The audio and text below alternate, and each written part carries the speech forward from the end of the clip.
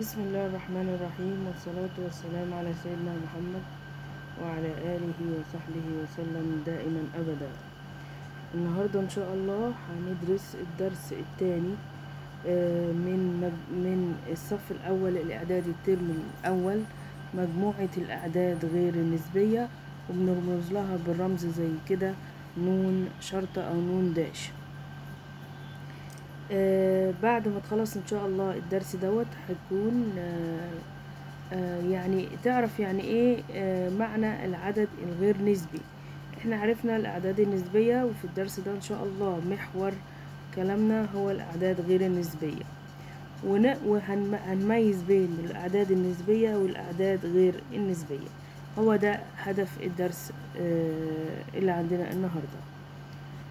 عرفنا إن العدد النسبي هو العدد اللي إحنا نقدر نحطه في صورة ألف على ب طبعا متفقين إن إحنا الألف بتنتمي للأعداد الصحيحة وكمان الب بتنتمي للأعداد الصحيحة وكمان الب ده شرط أساسي ما بتساويش الصفر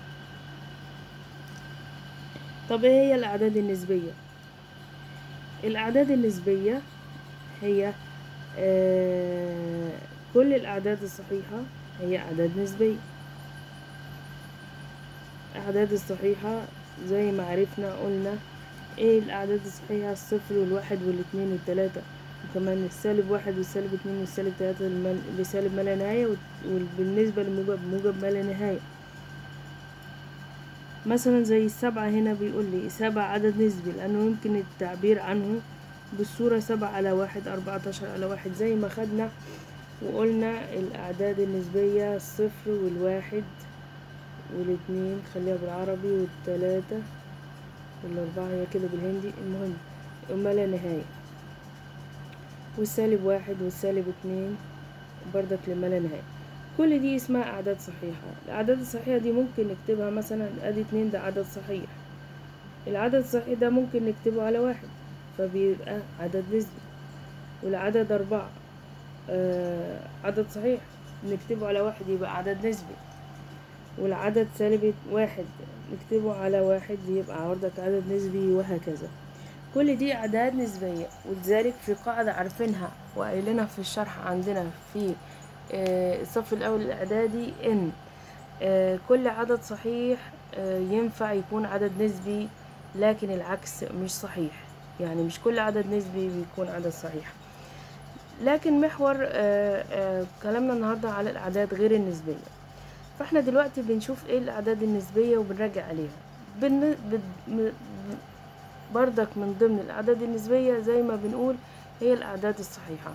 وكمان الكسور العشرية اللي هي مثلا تلاتة واتنين من عشرة. ده عدد نسبي لأنه يمكن التعبير عنه تلاتة واتنين من عشرة هو اتنين وتلاتين على عشرة أو ستاشر على خمسة. جميع الأعد... أو برضه جميع النسب المئوية هي أعداد نسبية يعني خمسة وعشرين في المية عدد نسبي لأنه يمكن التعبير عنه بالصورة اللي هي خمسة وعشرين على مية آه خمسة على عشرين آه بيكون آه آه في نسبة مئوية. الجذر التربيعي للعدد النسبي المربع الكامل هو عدد نسبي. وكمان إحنا خدنا الجذر التربيعي في آه سنة أولى إعداد. الجذر التربيعي بردك هو عدد نسبي. وكمان الجذر التكعيبي للعدد النسبي المكعب الكامل هو عدد نسبي أيضا. يعني الجذر التكعيبي اللي إحنا لسه واخدينه في الدرس الأولاني ده يعتبر عدد نسبي. والع... وال... وال... والجذر التربيعي اللي إحنا خدناه في سنة أولى بردك عدد نسبي. آه... ماشي. يعني مثلا ستاشر وجذر ستاشر وجذر أربعة وستين على واحد وتمانين وأربعة من مية الجذر ليها كلها كل دول أعداد نسبية. يعني الجذر سواء تربيعي أو تكعيبي سواء في عدد نسبي أو في عدد عشري جواه بردك عدد نسبي. صح كده؟ يبقى هو عدد نسبي من كل النواحي. يعني هو جذر وبردك هو عدد إيه؟ عشري الأعداد والكسور العشرية من ضمنها. صح كده؟ بردك جذر أربعة آه على مية يعني بتساوي اتنين على عشرة أو واحد على خمسة. كل دول إيه؟ أعداد آه نسبية. جذر السالب مية خمسة وعشرين التكعيبي لسه واخدينه بيساوي سالب خمسة وكل ده عدد نسبي. آه، جذر أربعة وستين على سبعة وعشرين التكعيبي بيساوي أربعة على تلاتة. كل دي الأعداد نسبية.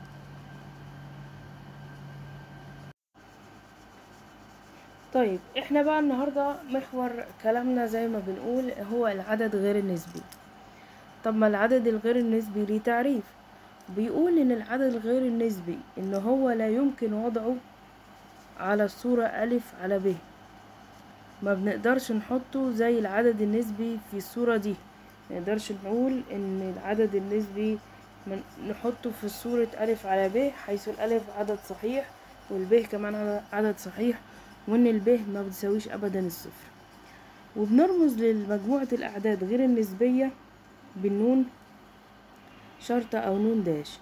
آه ما بنقدرش نحط قلنا إن العدد النسبي في الصورة دي خلي بالكم وإن الب لا تساوي الصفر أبدا. آه مثال على الأعداد أمثلة على أعداد غير النسبية.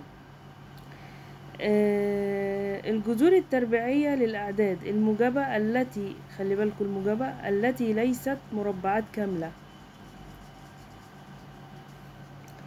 اللي هي آه مش مربع كامل يعني مثلا جذر سبعة ده يدينا إيه؟ مش هيدينا عدد آه مربع كامل. ما هواش حاجتين مضروبين في بعض زي بعض. وبرضك سالب جذر خمسة وجذر اتنين. جذر اتنين ده عبارة عن كام في كام عشان يدينا اتنين؟ عشان يبقى مربع كامل مش إيه مش عدد نسبي. آه يعني الجذور التربيعية للأعداد الموجبة التي ليست مربعات كاملة. التي ليست مربعات كاملة. دي مش مربع كامل.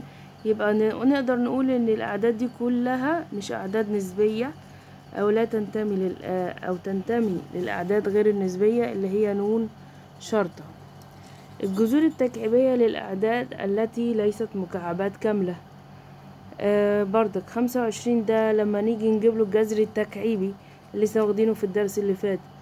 ده مش مكا... مش مش جذر تكعيبي لل ل 25 ملوش. إيه إيه الحاجة اللي نضربها في ثلاث مرات يطلع لنا المكعب 25 بردك سالب الجذور التكعيبية للأعداد التي ليست مكعبات كاملة.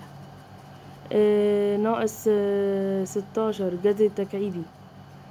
آه ناقص جذر تمانين الجذر التكعيبي بردك الحاجة اللي مش هنقدر نجيب لها الجذر التكعيبي ليها يبقى دي تعتبر بردك من ضمن الأعداد الغير النسبية. آه لأنها ملهاش جذور آه آه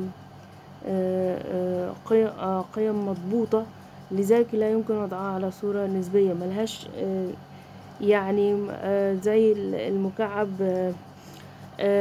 بنضربه بنضرب مثلا رقم ثلاث مرات يطلع عليه مكعب. نقدر نجيب الجذر إنما خمسة وعشرين دي لما نيجي نحللها مش هنعرف نحللها زي ما كنا بنقول في الدرس الأولاني.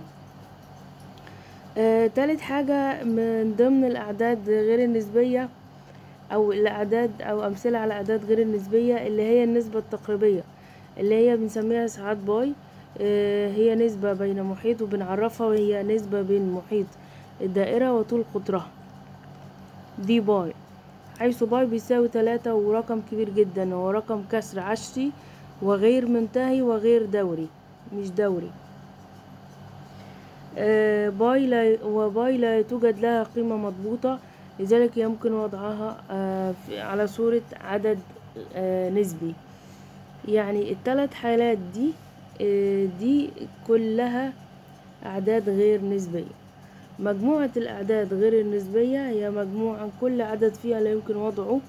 ما نقدرش نحطه قلنا على صورة ألف على ب حيث الألف تنتمي للصاد والب تنتمي للصاد والب لا تساوي الصفر. مديني رسمة يبين لي فيها إن دي أعداد نسبية ودي أعداد غير نسبية. بيقول لي الاتنين بيتقاطعوا في فاي تقاطع نون آه الأعداد النسبية مع الأعداد غير النسبية يدينا فاي. وفرق بين الأعداد النسبية آه فرق الأعداد غير النسبية يدينا نون وفرق الأعداد غير النسبية آه، من الأعداد النسبية بيدينا نون شرطة. مثال آه، على كلامنا. بيقول لي بين الأعداد الآتية آه، إنها نسبي منها مين فيها النسبي ومين فيها اللي غير نسبي. الأول حاجة جذر ستاشر جذر ستاشر دوت جذره آه، جذر مربع كامل آه، موجب يبقى إذا ينتمي للأعداد النسبية. آه، جذر سبعة وعشرين على الأربعة وستين الجذر التكعيبي بتساوي تلاتة على الأربعة. يبقى بردك آه، موجب يبقى ده ينتمي للأعداد النسبية. آه، جذر خمستاشر ده نقدر نجيب له الجذر لا مفيش حاجة مكررة مرتين آه، تدينا المربع الكامل خمستاشر. ولذلك إحنا مش هنقدر نجيب لها جذر لذلك ده يعتبر من الأعداد غير النسبية. خمسة وعشرين من ألف. اللي هي واحد على أربعين. دي آه، جبناها في صورة ألف على ب آه، يبقى إذا وهي كسر عشري. يع- يعني يعتبر إن دي تنتمي للأعداد النسبية. آه، جذر ستة وتلاتين جذر التكعيبي مش جذر التربيعي. الجذر التكعيبي لستة وتلاتين مش هنقدر نجيب له الجذر التكعيبي. يبقى إذا ده ينتمي لل ينتمي لل الأعداد غير النسبية.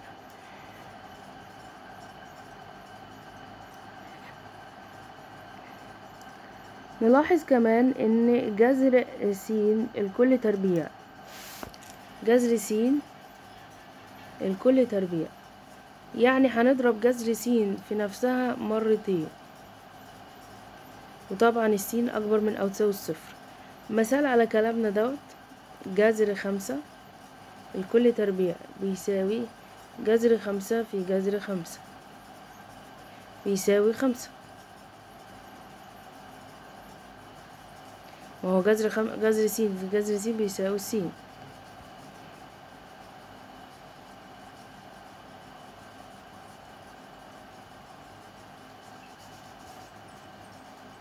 الملاحظة التانية إن الجذر التكعيبي لسين الجذر هنا دي تلاتة. الكل أس تلاتة يعني هنضرب الجذر التكعيبي ده س في الجذر التكعيبي لس في الجذر التكعيبي لس تلات مرات. طيب إحنا هنا بالنسبة هبص بس الوحدة بس. هنا السين لو إحنا حولناها حولناها لصورة أسية هتبقى هنا ودي واحد تبقى واحد إيه آه، أس أس تلت ودي بردك س أس تلت ماشي؟ س أس تلت في س أس تلت طيب هنا الأساس زي بعضه في الأسس آه يبقى س ونجمع آه نجمع قصدي الأساس زي بعض ونجمع الأسس في الضرب. لأن ده ضرب. المقام زي بعضه. آه نجمع واحد آه المج... آه يعتبر عن واحد على تلاتة زائد واحد على تلاتة زائد واحد على تلاتة. المقام زي بعض ينزل زي ما هو نجمع ال- البسطات هيبقى آه آه تلاتة وبالتالي هتطلع إيه؟ هتطلع س. حيث س بينتمي للأعداد النسبية. طب مثال على كلامنا دوت كل اللي حصل دوت.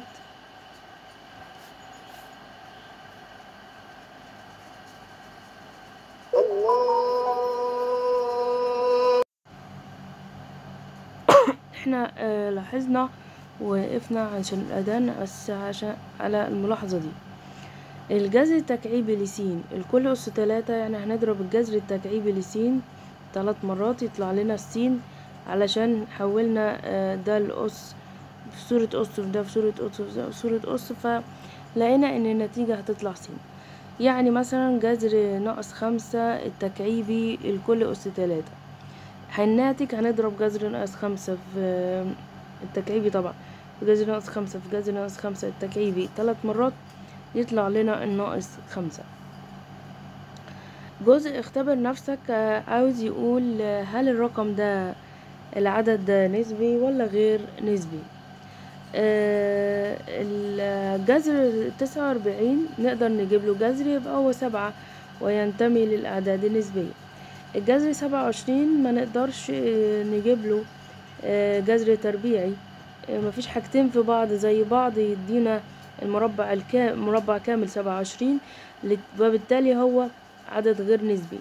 التلت ينتمي للأعداد النسبية سورة ألف على ب جذر ناقص خمسة وتلاتين التكعيبي؟ برضك ما ينفعش نجيب له. آه، جذر تكعيبي ليه فبالتالي هو آه، عدد غير نسبي. آه، ستة من عشرة دائر عدد نسبي. آه، جذر مية خمسة وعشرين التكعيبي؟ آه، عدد نسبي لأن إحنا نقدر نجيب له الجذر التكعيبي ليه. وبكده يبقى إحنا خلصنا كده. ان شاء الله كده ال- الدرس الثاني بعنوان الأعداد غير النسبية. وإن شاء الله نحل عليها آه، الأسئلة بتاعتها. شكرا. سلام عليكم. اللهم صل وسلم وبارك على سيدنا محمد وعلى آله وصحبه وسلم دائما أبدا.